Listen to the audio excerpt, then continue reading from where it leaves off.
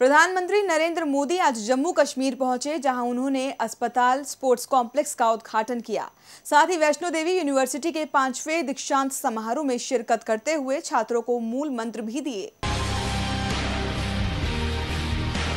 जम्मू कश्मीर में विकास का संदेश लेकर प्रधानमंत्री नरेंद्र मोदी मंगलवार को कटरा पहुँचे, जहाँ उन्होंने सबसे पहले श्राइन बोर्ड द्वारा बनवाए गए अत्याधुनिक सुविधाओं से लैस सुपर स्पेशलिटी अस्पताल का उद्घाटन किया। इसके बाद पीएम मोदी माता वैष्णो देवी यूनिवर्सिटी के पाँचवें दीक्षांत समारोह का हिस्सा भी बने। कार्यक्रम को संबोधित करते हुए उन्होंने छात्रों को सपने देखने और आगे बढ़ने का मूल मंत्र दिया। हॉलीवुड की जो फ़िल्में बनती हैं उससे कम खर्च में मेरे हिंदुस्तान का नौजवान मार्ग मिशन पर सफलतापूर्वक अपने कदम बढ़ा जिस देश के पास ये टैलेंट हो, सामर्थ्य हो, उस देश को सपने देखने का हक भी होता है। इस दौरान पीएम ने लड़कियों की जमकर तारीफ़ करते हुए कहा, लड़कियों ने लड़कों से ज़्यादा मेडल हासिल किए हैं।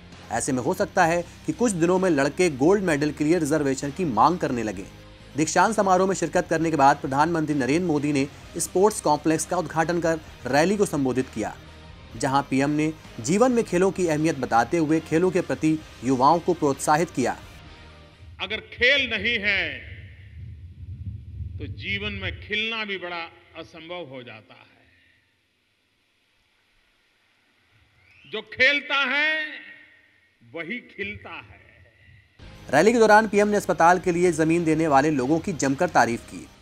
जिन गाँवों ने ये ज़मीन दी है और जिसके कारण ये अस्पताल बना है उन गाँवों को लोगों के लिए फ्री हेल्थ की व्यवस्था की गई है।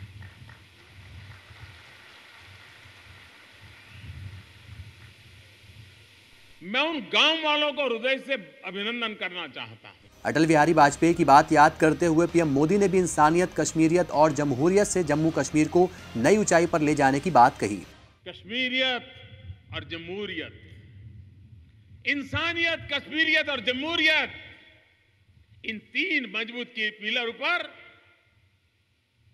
हमने जम्मू कश्मीर को नई ऊंचाइयों पर ले जाना है। और हमने उन्हीं सपनों को वाजपेयी जी के जो सपने हैं, इंसानियत, कश्मीरियत और जमहूरियत, उसके अंदर सबका साथ, सबका विकास का रंग भर दिया। साथ ही इस दौरान उन्होंने विकास के एजेंडे को दोहराते हुए कहा कि विकास से ही सभी समस्याओं का समाधान संभव है और केंद्र सरकार जम्मू कश्मीर के विकास के लिए कंधे से कंधा मिलाकर चलने के लिए तैयार है। नरेंद्र मोदी प्रधानमंत्री बनने के बाद तकरीबन आठ बार जम्मू कश्मीर का दौरा कर चुके हैं, जो दिखाता है कि यह उनकी कश्मीर पॉलिसी का कोई हिस्सा है।